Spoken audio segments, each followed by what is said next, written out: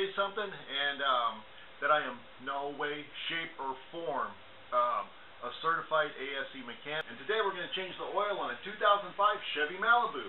So come along with me and we'll, we'll see what we can do. And I'll start by showing you some of the tools we're going to need and some of the equipment. Alright, let's get started. You can use jack stands, you can use the jack to lift your car to change the oil, you know, and you can use the the wheel blocks to, or the wheel chucks, whatever you want to call them, to uh, put behind the wheels, make sure it's safe. You know, just just you can do all that stuff, and it's really good instead of using car ramps. But I wouldn't recommend using a curb. Um, I wouldn't recommend using uh, concrete blocks or anything like that. You know, it's just safe just to use the stuff, uh, use the equipment that's designed to hold up a car. And you know, just always try to be safe and smart about it. And um, don't ever crawl underneath the car just with the jack being the only thing that's holding it up in the air. That's not a that's not very good. It's not very safe. You know, you're just looking for an accident to happen. And um, like I say, you get the car in the air on the jack stands and everything. Make sure you block the wheels. If you ain't got no chucks, then go ahead and uh, use some wood or find something you know to block it. Something that's that you think is going to be adequate. You know. So, all right. I just wanted to make a quick note and add that. Just be safe and be smart. First, you're going to need the oil pan, your oil filter, a wrench, a socket, and the brand of oil that you like to choose. I'm not even going to come close to even going into what kind of weights or what kind of brand's best or anything like that. I'm sure all you guys would know far better than me. Uh, same thing with the oil filter. Um, what brand you use, it's all up to you. Now this here is going is a 32 millimeter socket because this is the four cylinder and the, this is going to take the cartridge that goes inside of it. I won't actually be changing the whole uh, metal part that you'll see. I'll show you when we get to it. And this, of course, the 15 millimeter wrench is going to be for the drain plug. And obviously, you know what the oil pan's for. Alright, so let's get to it. Alright, I'm up underneath the car. And I've put the drain pan underneath the oil pan. And now I'm going to take the bolt out. Lefty loosey, righty tighty.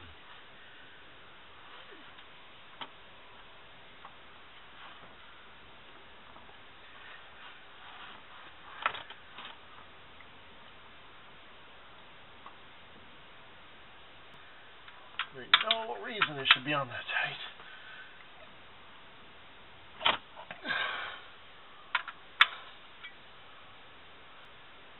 Whenever you pull out the oil plug, take a look at it. Some of them's got the magnetic on the end of it, and you can um take a look at it to see if there's a bunch of metal shavings. Alright, we're going to let that drain. Let it all drain out. Oh, and it also helps to have the car warmed up. The oil will drain a lot faster. And I should have pointed out earlier, I'm parked up on top of uh, car ramps. So just make sure it's really safe. Make sure you got your wheels chocked, or, your, or at least your wheels chocked. But put your emergency brake on and just take all the safety precaution and try to wear safety glasses while you're up underneath here. You don't want stuff dropping in your eye.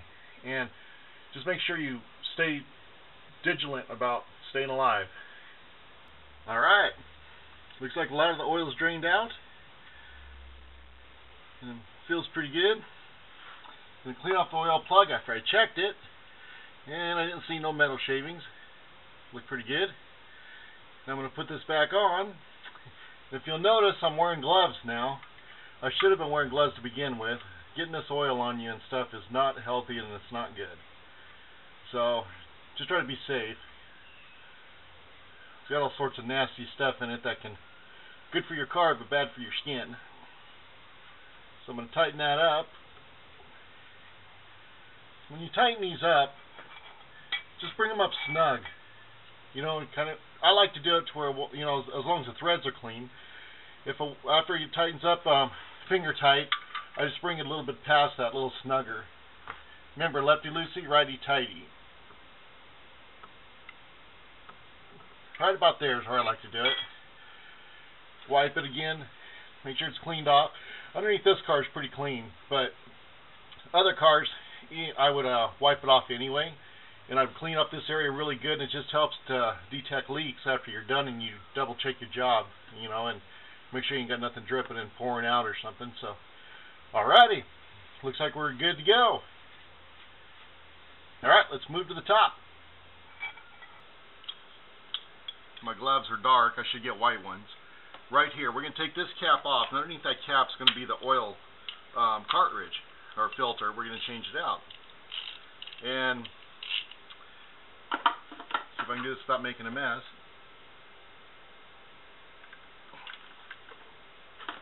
There we go. Try to use my other hand so you guys can see.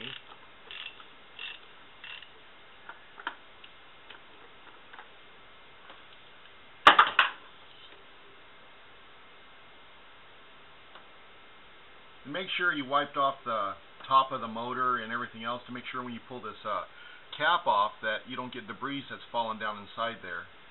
So I've wiped it off before I turned on the camera. I guess I could have showed you guys that. And just pull it out kind of gingerly. Be gentle.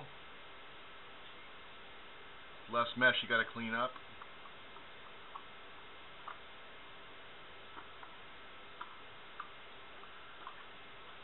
And there it is. There it is right there. Alrighty. Let's head over for the bench.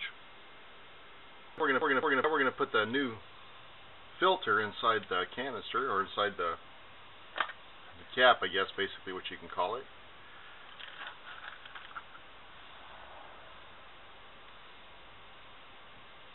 And make sure you put your new O-ring on. It looks like the same size, looks good. Got me a little bit of oil here to put on the new O-ring. So I can make sure I don't put a dry O-ring on. I'm going to find a little groove here. There it is. Slide the screwdriver underneath. That's the way I do it. I'm not sure that's your guys' preference. And I'm just going to pull it off. Pull out the old filter. Check for junk. It doesn't look bad.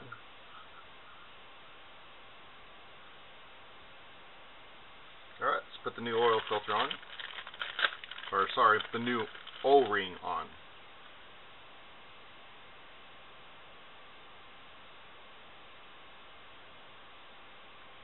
You do it like this, or put it all over the lid, whatever way you want to, it don't matter. Get on there. Really? Oh, really? There we go. Really?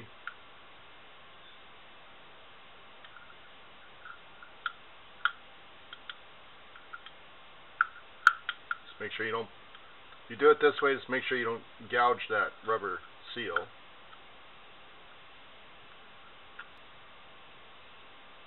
And there we are. Let's put the new one in.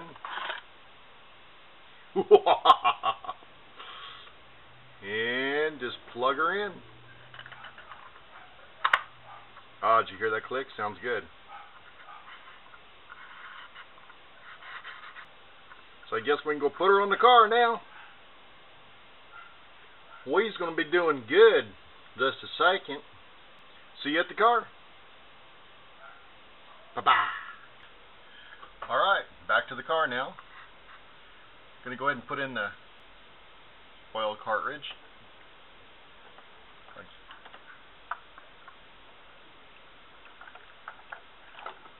Being gentle not to injure it in any way. I'm just going to bring this down hand tight, as tight as I can get with my fingers. Take that 32, and I'm going to bring tighten it down going to the right, about another quarter turn. So I'm going to take my wrench, I'm going to mark my spot right here. So I'm going to come over to about right here.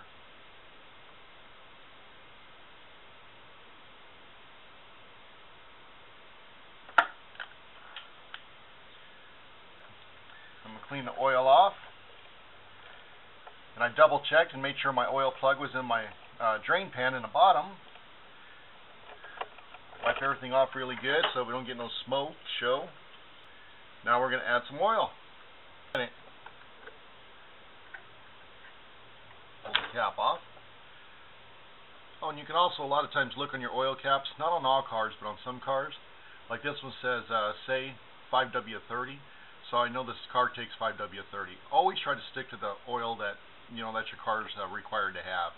It's the best thing to do. You know, and if it doesn't say it on the cap, then look in the owner's manual, or else maybe buy something from the store and you know a mechanic book or something. You can get them pick them up in the auto parts store for you know various amounts, uh, whatever different costs in your area. I'm going to use a filter because I'm not the most coord not the most coordinated person in the world. This car takes five quarts. I could have turned the the uh, container sideways, you know, and that does help, and definitely does. Let some of that air in there and make things run a lot smoother.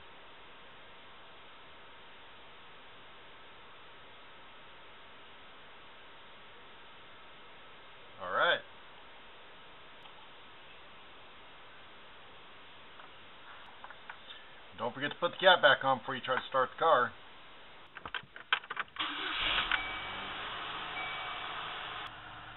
Sounds good. Gonna let it run for about two minutes. Then I'm gonna go outside and I'm gonna look underneath the car and I'm gonna check it to uh, see if there's any leaks and check around that um, around the oil filter. All right, down here just taking a look underneath the car to see if I see any oil leaks, and uh, I'm not seeing any. I'm looking particularly right in this area, right on the other side of that um, is the uh, oil plug. But I do not see no oil leaking anywhere, and it looks nice and dry. So it looks good. Let's go check the filter on top. All right, now we're up here on top. We're looking at the filter, the new filter we put in, looking at that cap, and it looks pretty good. I actually see a little bit of moisture